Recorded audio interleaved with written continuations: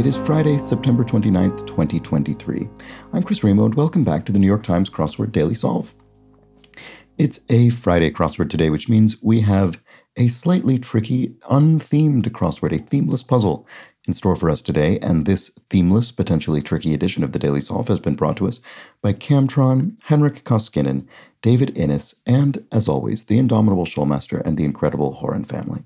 So thank you so much to the five of them, benefactors of the Daily Solve Patreon campaign, for their generous support.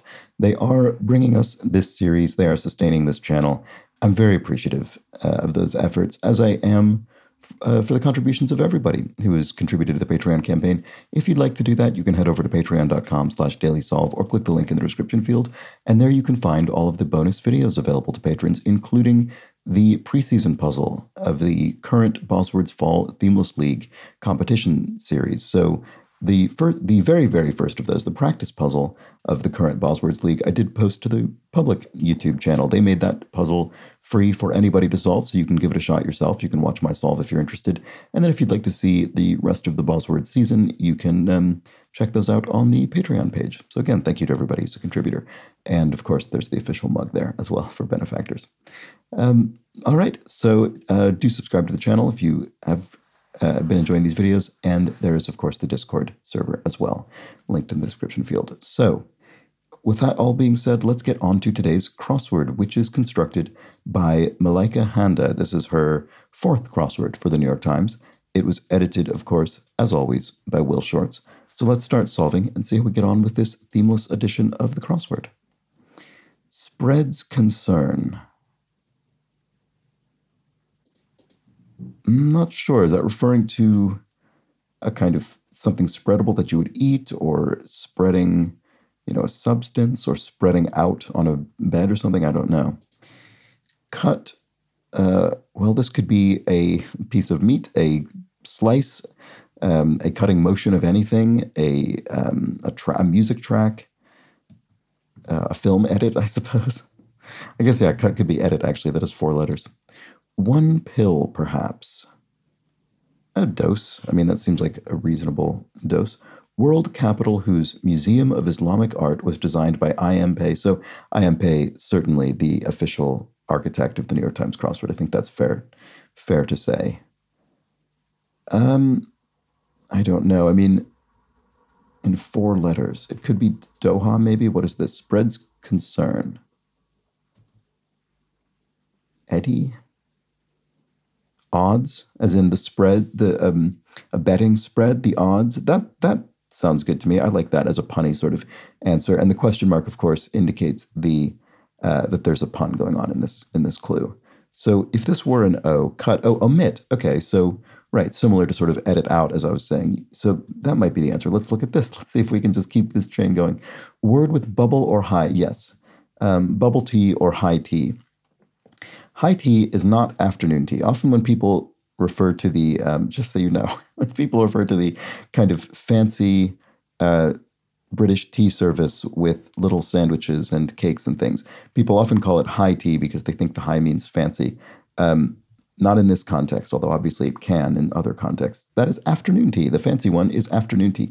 High tea is more of a sort of, uh, it's a, it would be later in the day and it would be more like a closer to a supper sort of meal. It is not. Uh, it would be closer in time to that. It's not, and, and it's less fancy, in fact, than afternoon tea. But I've noticed even a lot of actual tea houses now say high tea because I think people just sort of expect it. Okay, a legal product that's still made.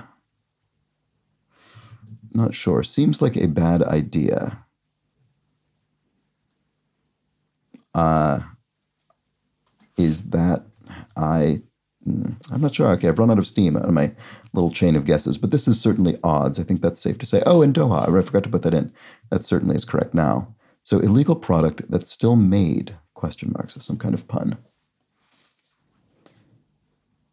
Moon something? I'm not sure. Oh, oh, right. Snowballs. So the, the B being capitalized in uh, in this clue, oops, suggests that the answer is a proper noun. So in this case, a brand name. That's very common. And this is a, uh, is it a, I was going to say, is it an ice sort of treat? But I think maybe it's not. I think it's maybe actually just. I think it's a it's a confection, a sort of baked confection, maybe I don't know, but it's some it's some sort of treat that it commercially sold. Okay, a legal product that's still made. I don't know what's going on with this. That's still made. What uh, moon shoes? I have no idea what this is. What is the pun doing there? I don't know. Seems like a bad idea. I shouldn't. Yeah, that, that's plausible. Let's look at the crosses. Lodge. Oh, an inn, like a, you know, a guest house or motel or something. NBA team originally based in New Jersey. Is it the Jets or the Nets? Maybe I don't know. I'm I'm really the wrong person to ask, as as you know if you've been watching these videos for a while.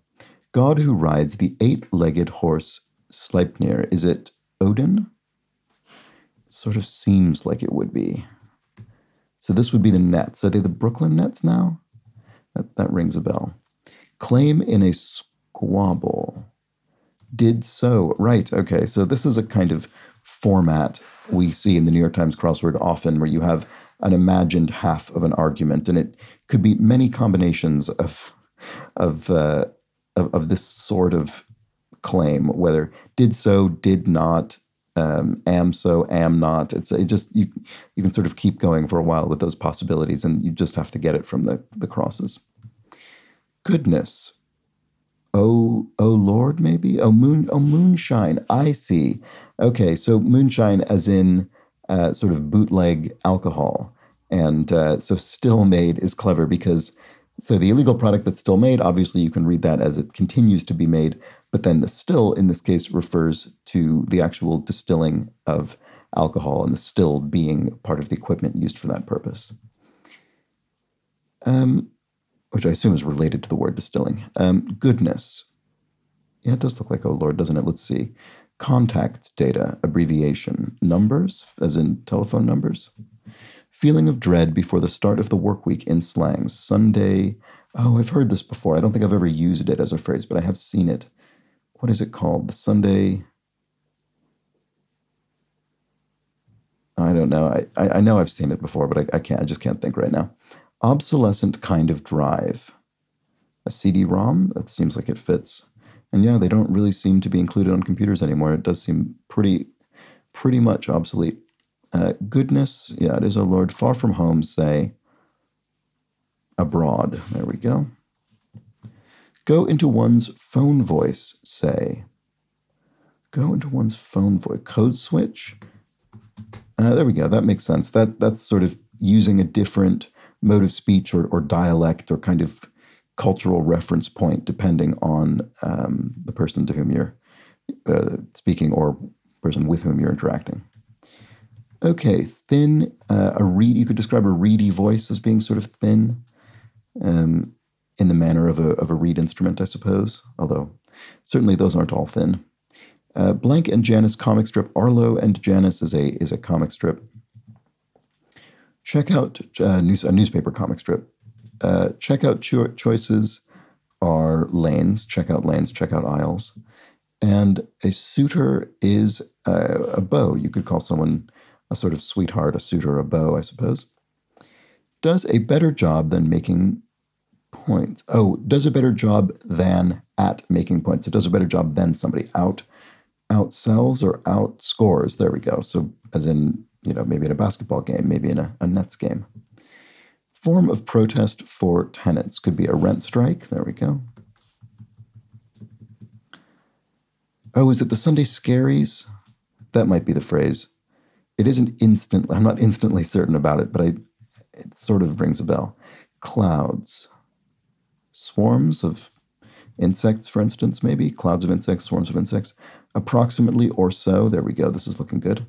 Moves a little, stirs. So if you were completely still and then you moved a little, you stirred. Cube, e.g., um, a solid. Is it as simple as that? A solid object? I'm not sure. Let's look at the crosses.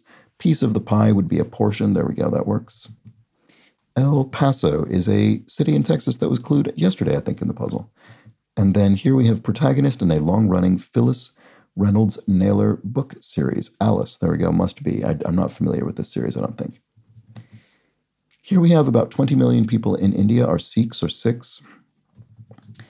And uh, flattering lines uh, would be the official poetic form of the New York Times crossword, the ode. There we go. Um, still waiting for an ode to the ode theme one of these days. Office warning letters. Office warning letters. Not sure about that one. Office. I assume it just means a workplace, but it could be something else that I'm not seeing and then therefore not getting the answer. Creepy crawly, a worm. There we go. And May to November in Central America. Um, winter, wet season. There we go. That sounds that sounds better. Uh, who said between two evils? I always pick the one I never tried before. Um, I don't know. That doesn't ring a bell to me. It's a it's a it's a clever quip, but I'm not sure. Yeah, sorry, I don't quite see it. Great Basin people looks like the the Utes, I would think. A native a native people. So what what does that work with this? Need to pay? Yes, if you need to pay, you owe. So that that looks good. Uh, who is this? Why do I not see? Oh, Mae West. That's an extremely in character quip for Mae West, famous Hollywood actor and quip, quipster. She has all sorts of, of bon mots like this. Okay, author who wrote Happiness in Marriage is entirely a matter of choice. Um, once again, I'm not sure offhand. Uh, we'll, we'll just have to get it through crosses. Model holiday. Not sure about that one either, sorry. Brand of ranch dressing, question mark. Interesting. So we're prefer, presumably not referring to a salad dressing. I don't think. That's interesting. What does that mean? Brand, oh, oh, maybe a brand used on a ranch to brand livestock.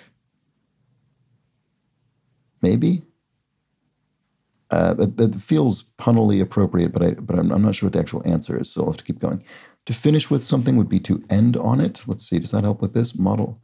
Holiday, no, not sure.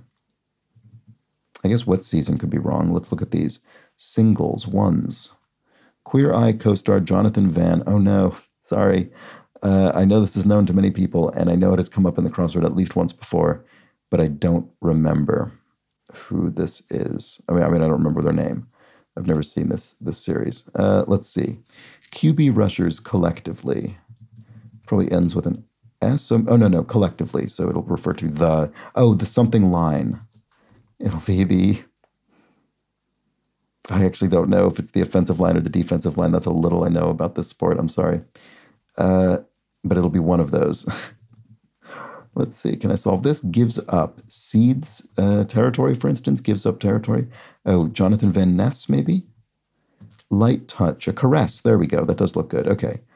Good. So, so maybe wet season is correct. That this is looking fine. Seeks shelter. I'm not sure. Blank B. Parker, Democratic candidate for president in 1904. Wow. Uh, I don't think I know that. Blueprint could be a plan, maybe. Let's look at the crosses. Tube feature with the tube. Is it referring to the London Underground or a different meaning of tube?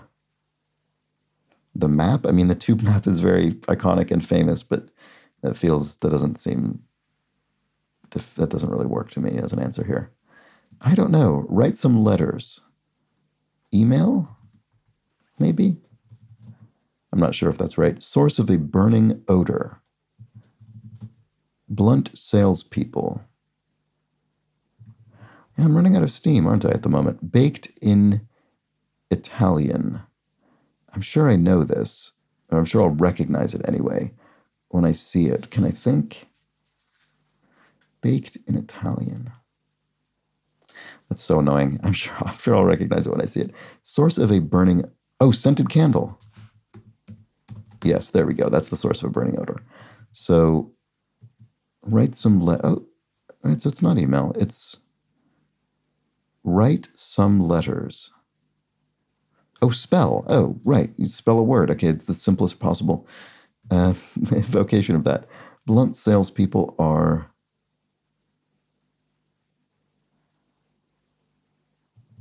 Probably ends with an S. Blank day of visibility, March 31st observance. Trans day of visibility. So the S is confirmed, but that was fairly obvious. Let's see if that gives me anything here. Oh, I haven't looked at these clues yet. Having rhythm. If you're having rhythm, you're. Mm, not sure. Like AB vis a vis other blood types, rarer, I suppose. And here we have put on, you can add something, put, put something onto the fire, add it to the fire, that kind of thing. Having rhythm is cadent. Ah, right. Okay. Yeah, is, that's interesting. You don't really see this adjective very often. So the adjectival form of, of cadence. That's that's that's very interesting. Growth that may be treated with salicylic acid, a wart, I guess. And office warning. Oh, I see. It's NSFW, not safe for work. So it's warning you not to sort of maybe, I don't know, open an email attachment or something, whatever it would be, or a link or something like that. A person who might sweep a board game off a table. Um, this is obviously a sort of slightly punny thing, but I'm not quite seeing what it is. Close associates to be wary of. Frenemies. There we go. Um, I think that must be the the answer of a modern portmanteau. Uh, here we have simply three exclamation points in brackets. So what is the Oh, OMG, right. So okay. So when you see the brackets, what it usually means is we're resulting, we're going to put something in the grid that isn't verbal. It's arguable whether this is. I suppose people do at this point actually say OMG, but it's it's mainly associated with being something textual, something that would only be you know, that, that you would type and you would read, but you wouldn't necessarily say or hear out loud um, in that exact form. So I think that's basically what's going on with the brackets there. And then the exclamation points just indicate surprise or amazement, which is what this uh, initialism also represents.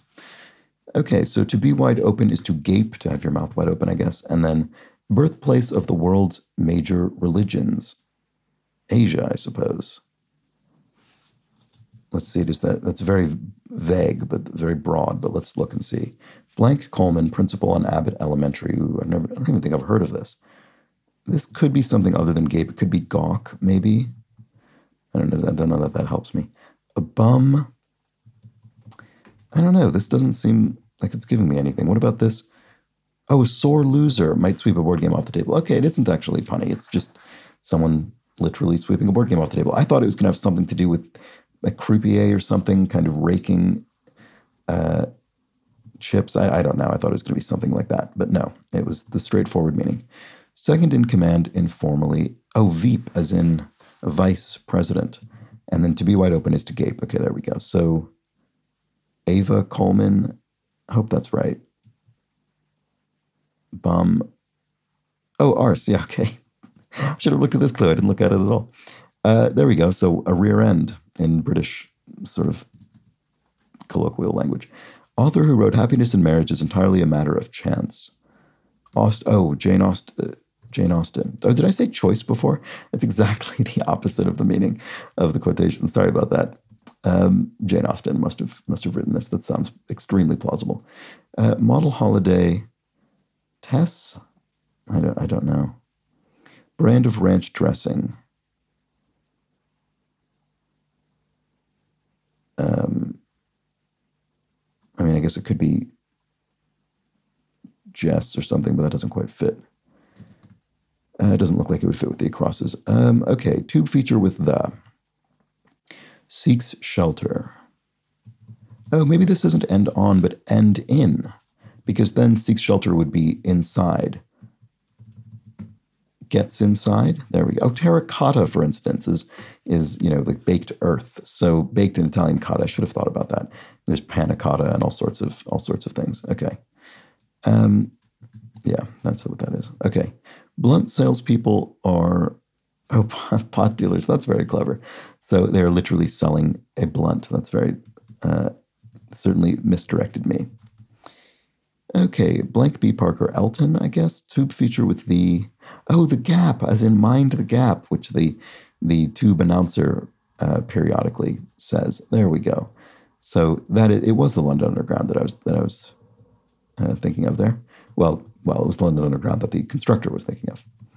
Okay, so Alton, I guess, and then oh, a Stetson hat. Okay, it is referring to a ranch, a you know, a cattle ranch, for instance. Um, but the dressing is something you wear. So a hat, a Stetson hat. That's very clever. That's a very clever bit of misdirection. And then that's it. That was the Friday crossword and a nice themeless edition of the puzzle. And um, yeah, it sort of slowed me slowed me down in I think the two eastern corners of the grid.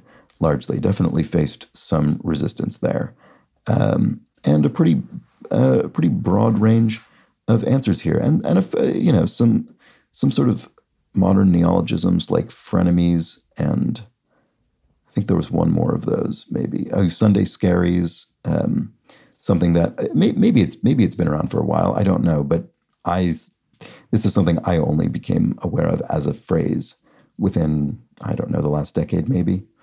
Um, but let me know. Maybe it maybe it precedes that. I don't I don't really have a clue. Anyway there we go. That was the Friday crossword. Hope you enjoyed it. Oh, once again, I completely forgot to find the clues from yesterday's puzzle. I will really do my best to remember to do that uh, tomorrow, to find the comments from the previous day. So, yes, apologies for that. Um, I will do that tomorrow if I, if I remember, which I will try to do. Okay. Anyway, that was the video. That was the crossword. Hope you enjoyed it. I will be back tomorrow, one way or the other, for the Saturday themeless crossword, which might be a step up in difficulty from this. We'll just have to come back and find out. I hope you do. But until then, Please do have an excellent remainder of your Friday. Take care.